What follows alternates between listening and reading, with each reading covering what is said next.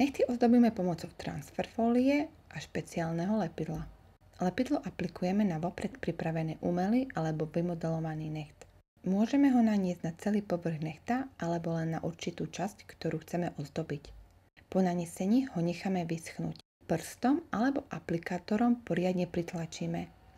Následne rýchlým pohybom strhneme. Otlačený vzor je dobre zafixovať čírym lakom alebo UV leskom.